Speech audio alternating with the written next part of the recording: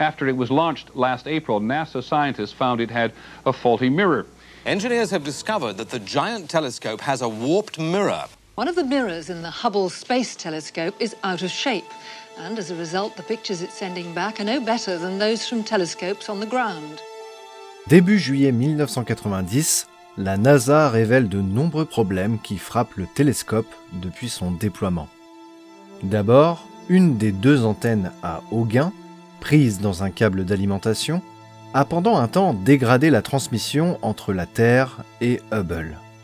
Puis le 2 mai, on découvre que le passage de la nuit au jour à chaque orbite génère un choc thermique sur les panneaux solaires, ce qui cause une vibration légère mais suffisante pour gêner la précision de la visée. Il apparaît ensuite que le télescope s'avère sensible aux effets du champ magnétique terrestre quand il passe à certains endroits de l'orbite, et qu'il a généralement besoin d'une mise à jour de l'ordinateur de bord pour y incorporer une carte stellaire plus précise. Ces problèmes peuvent tous être réglés en reprogrammant le télescope à distance, mais d'autres problèmes plus sérieux se présentent encore au fil des premiers tests. Lors de la première observation double, l'amas ouvert IC 2602 dans la constellation de la Carène, l'image apparaît floue. Même si elle est bien supérieure à ce que peuvent réaliser des télescopes terrestres, elle est bien en dessous des attentes des astronomes. Et un problème plus grave est mis au jour. Le miroir principal présente une aberration sphérique de seulement 1 25e de l'épaisseur d'un cheveu humain ce qui génère un halo de lumière et rend l'image floue. Une enquête plus poussée permet d'écarter l'hypothèse d'une erreur lors du déploiement sur STS-31. Cette aberration sphérique a été causée par la machine chargée de polir le télescope qui l'a surpoli de seulement 2 microns. Heureusement, l'aberration étant régulière sur le miroir, cela peut se corriger assez facilement.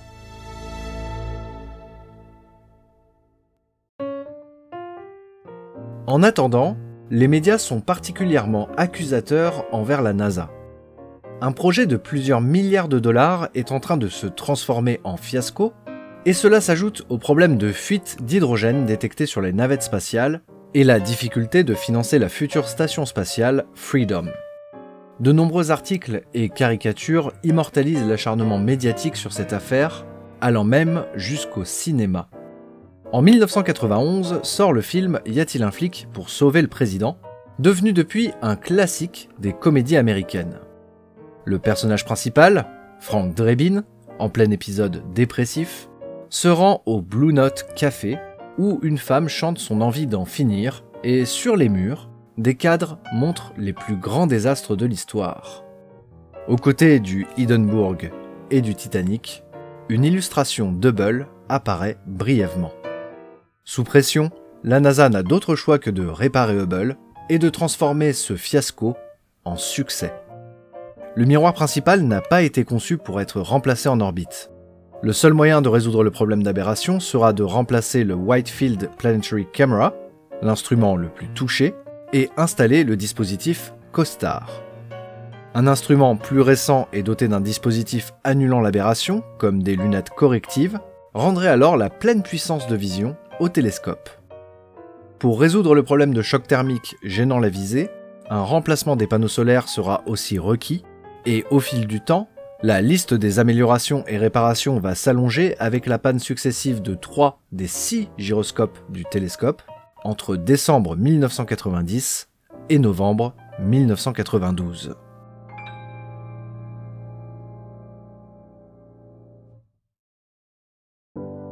En 1993, l'équipage de la mission de maintenance 1 Double se met en place et débute ses entraînements. Dick Covey sera le commandant et Ken Bowersox le pilote de la navette Endeavour. Covey a déjà participé à trois missions navettes, dont deux où il était le pilote et une où il était le commandant.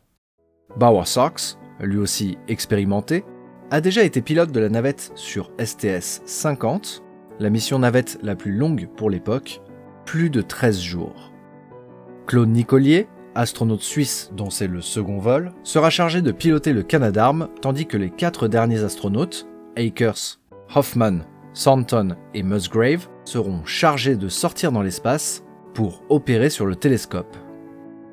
Astronaute de réserve sur Skylab 2, Story Musgrave est un des astronautes les plus expérimentés de la NASA. Il réalise la toute première sortie spatiale depuis navette sur STS-6, puis enchaîne les vols sur STS-51F, STS-33 et STS-44. Kathy Thornton a volé sur STS-33 aux côtés de Musgrave et a déjà réalisé une sortie spatiale avec Akers sur STS-49. Tom Akers a lui aussi réalisé deux vols en navette. Lors de STS-49, aux côtés de Pierre Thuot et Rick Hibb, ils furent les premiers et seuls astronautes à réaliser une sortie à 3 pour réparer un satellite Intelsat en orbite. Enfin, Jeff Hoffman, astronome, a déjà volé lors de STS-51D, STS-35 et STS-46. Voulant dans un premier temps effectuer un vol sur la station Mir, il s'avère que sa grande taille n'est pas compatible avec les combinaisons et vaisseaux russes. Il candidatera alors pour la maintenance Double et sera choisi car, comme les autres astronautes de la mission, il a déjà effectué un vol avec au moins l'un d'entre eux, une condition très spéciale pour STS-61.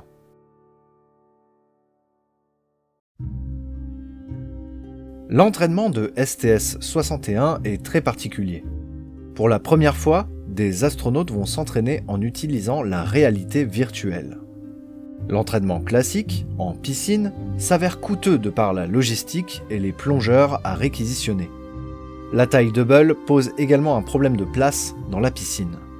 Le Virtual Reality Laboratory de Houston devient rapidement l'outil le plus précis pour bien visualiser la mission qui attend les astronautes qui feront des sorties spatiales sur cette mission et les prochaines. Au final, 91 outils vont être nécessaires pour exécuter la première maintenance Double. Les astronautes vont passer 738 heures en piscine, 94 heures en entraînement de préparation de sortie, 20 heures en chambre à vide et 195 heures pour chaque étape de capture et de déploiement du télescope. Avec le coût de la mission, sa préparation et les entraînements, STS-61 coûtera 500 millions de dollars à la NASA, soit le tiers du coût initial du télescope.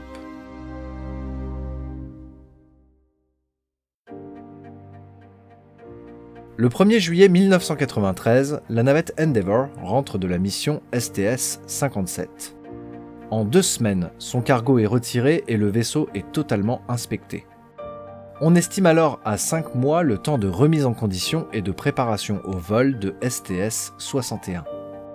Après des mois de travail et quelques retards, la navette arrive sur son pas de tir en novembre. Le 19, un capteur mesurant la pression d'hydrogène s'avère défectueux. Le remplacer obligerait à ramener la navette dans le VAB et par conséquent reporter le vol à janvier 1994. Des discussions ont alors lieu sur l'aspect critique ou non de ce capteur. Il est estimé que les trois capteurs de secours suffiraient amplement et le lancement est finalement maintenu. Un autre souci mineur est repéré sur les radios des combinaisons de sortie, problème qui est très vite réparé. Les astronautes arrivent au Cap le 27 novembre pour un lancement prévu le 1er décembre. Les yeux de nombreux astronomes et ingénieurs sont posés sur Endeavour et son équipage, et la pression médiatique est à son maximum. Mais parfois, les choses ne dépendent pas que de l'humain ou du technique. Le 1er décembre, la météo est hors limite, et cela force à reporter au lendemain, où tout s'annonce bien meilleur. Le 2 décembre, STS-61 s'élance à la poursuite du télescope Hubble. Il leur faudra 3 jours pour s'en approcher. À une distance de 9 mètres, Claude Nicolier l'agrippe à l'aide du bras robotique et l'installe confortablement sur sa plateforme de capture dans la soute.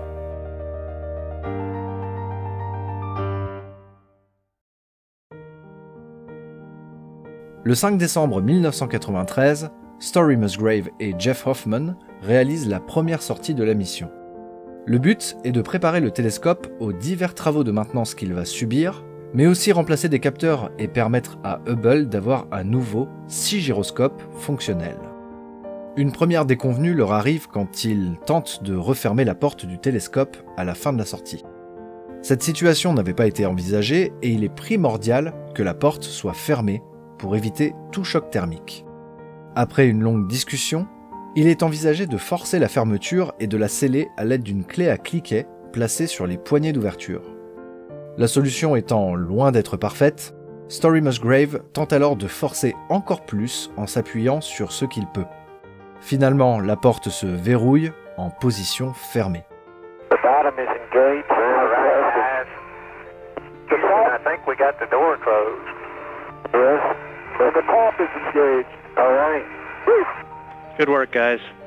Selon les ingénieurs, quand la porte a été ouverte au début de la sortie, le changement de température l'aurait dilaté ou contracté, l'empêchant alors de se fermer correctement. À part ça, la sortie de près de 8 heures est un succès. Cette déconvenue mènera néanmoins à la création d'un simulateur de porte double au Centre spatial Johnson pour expérimenter diverses techniques d'ouverture et de fermeture des portes du télescope en cas de problème.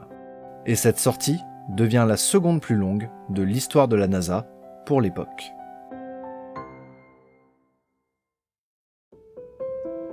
Le lendemain, c'est au tour de Kathy Salton et Tom Akers de sortir pour 6h30 de travail. En amont, les contrôleurs au sol ont lancé une commande au télescope pour qu'il rétracte ses panneaux solaires en anticipation de leur remplacement. À l'Agence spatiale européenne, les ingénieurs étaient confiants et malgré l'aspect déformé des panneaux, ils estimaient que la manœuvre marcherait sur les deux. Seulement, le panneau solaire droit refuse de s'enrouler. La sortie est alors avancée de 90 minutes afin de permettre aux astronautes de le retirer et de le lâcher dans l'espace. Alors qu'ils entrent dans la soute de la navette, prêts à démarrer le travail, la radio de Cathy Thornton a un problème. Personne ne peut l'entendre dans la navette ou au sol, à part Akers à ses côtés. Ce dernier va alors relayer tout ce qu'elle dit tout au long de la sortie. Heureusement, au bout de 3 heures, le contact total est rétabli avec Santon. À la toute fin de la sortie, elle se positionne pour relâcher le panneau solaire récalcitrant dans l'espace. Placée au bout du bras robotique, le tenant à bout de bras, elle finit par le libérer, tandis que Claude Nicolier la ramène vers la soute. Covey et Sox mettent brièvement à feu les propulseurs de la navette et s'éloignent doucement du panneau solaire. Impacté par ces petits jets, il se met alors à bouger comme un oiseau battant des ailes. On pensait à ce moment-là que dû à la traînée atmosphérique à cette altitude, il brûlerait dans l'atmosphère au bout d'un an. Au final, il effectuera une rentrée au bout de 5 ans en orbite, le 28 octobre 1998. L'ancien panneau gauche, lui, rentrera sur Terre à bord de STS-61 afin de subir des examens méticuleux. Une fois les nouveaux panneaux installés, les deux astronautes retournent à bord de la navette. Akers devient alors l'astronaute américain ayant le plus d'heures de sortie cumulées en navette, soit 22 heures et 50 minutes, dépassant le précédent record de Jerry Ross de seulement une minute. Et ce n'est que le début pour lui, puisqu'une autre sortie est prévue plus tard dans la semaine.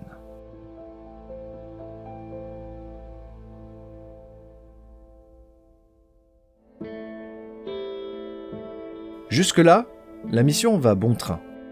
De toutes petites choses arrivent tout de même aux astronautes durant leur sortie spatiale. Initialement, il était prévu que les combinaisons reçoivent une plus grande réserve d'eau pour les longues sorties, mais les modifications n'ont pas été faites à temps. Aussi, pour grignoter durant la sortie, les astronautes avaient à leur disposition une friandise fixée devant leur visage. Avec les dents, ils pouvaient mordre dedans et la tirer vers eux au fur et à mesure qu'elle était consommée. Mais Hoffman, au lieu de la tirer vers lui, l'a accidentellement ramenée en avant, si bien qu'il n'a pas pu en profiter pour le reste de sa sortie. Après la seconde sortie, une fois à l'intérieur de la navette, les astronautes ont remarqué que les doigts de Cathy Thornton étaient rouges. D'abord, ils crurent à du sang, avant de se rendre compte que des morceaux de la friandise, rouge, s'étaient baladés dans la combinaison et avaient recoloré les mains de l'astronaute.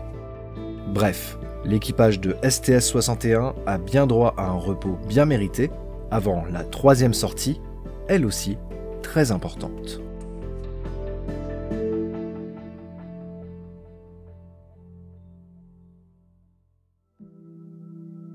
Pour cette troisième sortie spatiale, l'objectif principal est de retirer le Whitefield Planetary Camera et de le remplacer par un exemplaire plus récent, mais surtout retravaillé au vu de l'aberration sphérique du télescope. Les astronautes procéderont également à l'installation de deux nouveaux magnétomètres. Une heure plus tôt que prévu, Story Musgrave et Jeff Hoffman démarrent leur tâche. Ils commencent par retirer la Whitefield Planetary Camera. Sans aucune difficulté, l'instrument glisse hors de son compartiment. Ils le placent ensuite dans la soute pour le ramener sur Terre. Puis ils extraient le nouvel instrument de la soute et l'installent délicatement dans le télescope. L'opération aura duré 4 heures, exactement comme prévu. Les astronautes passent ensuite au remplacement des magnétomètres. Pour cela, le télescope est légèrement déplacé pour pouvoir accéder à leur remplacement. Après cette autre tâche menée avec grand succès, la sortie se termine au bout de 6 heures et 37 minutes.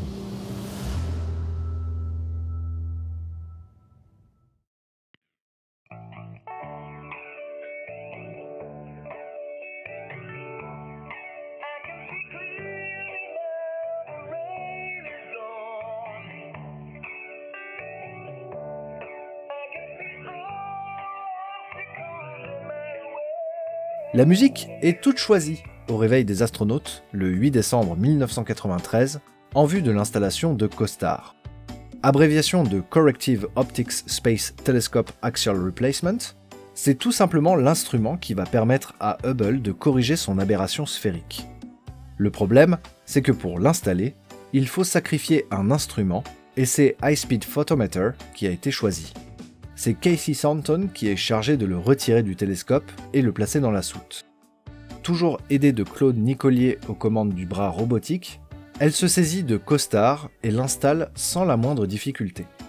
Akers, à ses côtés, s'occupe de le raccorder électriquement à Hubble. Toute cette opération, qui avait été estimée à 3 h 10 minutes, sera finalement exécutée en seulement 35 minutes. La seule vraie difficulté survient au moment de fixer High Speed Photometer dans la soute pour son retour sur Terre. Mais les doigts de fée d'Akers, et surtout son entraînement, lui permettent de mener à bien la tâche. Ils installent ensuite un nouveau coprocesseur donnant plus de puissance de calcul au télescope. En rentrant de cette sortie de 6 heures et 50 minutes, Akers bat un nouveau record en devenant l'astronaute ayant cumulé le plus d'heures de sortie spatiale avec 29 heures 40 minutes. Le précédent record, de 24 heures et 14 minutes, était détenu par Gene Cernan lors des sorties sur Gemini 9, mais aussi et surtout Apollo 17.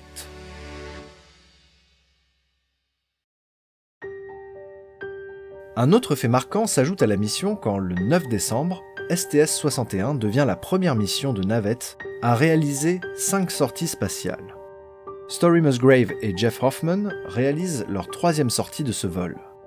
Au programme, le remplacement du système électronique permettant aux panneaux solaires de s'orienter vers le Soleil, l'installation d'une nouvelle isolation thermique pour deux magnétomètres et d'un kit de redondance pour le High Resolution Spectrograph. Lors de cette sortie, le gros problème, c'est un problème de vis. Quand les astronautes les retirent, évidemment, elles flottent et ont tendance à vouloir s'échapper.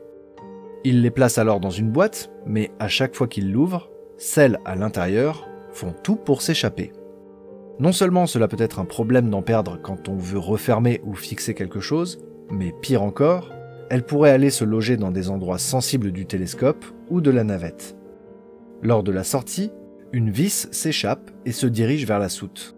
Claude Nicolier manœuvre le canadarme à la vitesse maximum, alors que Hoffman tend le bras. Après cet incident, le sac chargé de recevoir les vis sera amélioré. Il passe ensuite au remplacement de l'isolation des magnétomètres qui leur demande d'être tout en haut du télescope. C'est l'occasion d'admirer la vue exceptionnelle. Ils assistent ensuite au déploiement des panneaux solaires alors qu'ils sont encore en sortie spatiale. Cet événement marque la fin de la cinquième et dernière sortie spatiale de STS-61 après 7 heures et 21 minutes de travail. En cumulé, la mission STS-61 a battu un nouveau record de temps de sortie sur une mission navette, avec 35 heures et 28 minutes. Mais surtout, les astronautes ont réussi toutes leurs tâches et Hubble est prêt à être libéré. Avant la fin de cette journée, la navette réalise une poussée pour rehausser le télescope à une altitude de près de 600 km.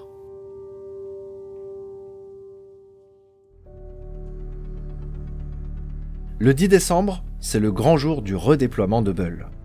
Les panneaux solaires ont rechargé les batteries du télescope et seul un petit problème informatique retarde sa libération. Cela ne nécessite pas une intervention de l'équipage, mais c'est noté pour une maintenance prochaine. Claude Nicolier reçoit le go pour attraper Hubble. Puis les attaches du support de soute s'ouvrent et l'astronaute suisse a désormais l'imposant télescope au bout de son bras. 30 minutes plus tard, en position de déploiement, Hubble ouvre sa porte avant. Les choses vont lentement, mais sûrement. Après avoir passé 6 jours dans la soute d'Endeavour, Hubble est enfin libéré dans l'espace. Nicolier éloigne le bras robotique et le pilote de la navette utilise les propulseurs pour s'éloigner. Mission accomplie.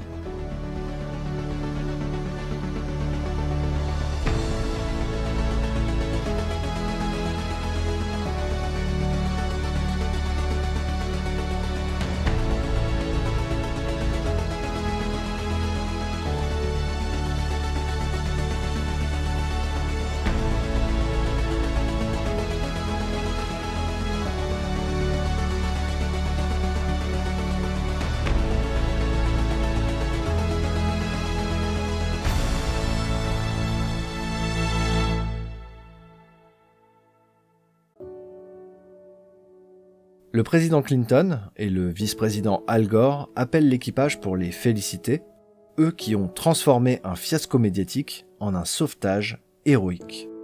Les deux prochains jours en orbite seront dédiés à la préparation au retour sur Terre. Les équipements sont rangés, le Canadarm replié, et les astronautes passent un temps conséquent à filmer les orages terrestres et à capturer la Terre avec leurs caméras IMAX on les informe qu'ils rentreront une orbite plus tôt que prévu pour éviter une tempête menaçant la piste en Floride. Le 12 décembre, Endeavour effectue sa rentrée atmosphérique. La navette se pose sans encombre sur la piste 33 du Kennedy Space Center, à quelques kilomètres du pas de tir qu'il avait vu partir dix jours plus tôt. Cette mission montre que Hubble peut être réparé et amélioré en orbite par les navettes, et que les missions suivantes, prévues pour les années à venir, contribueront encore et toujours à le maintenir opérationnel.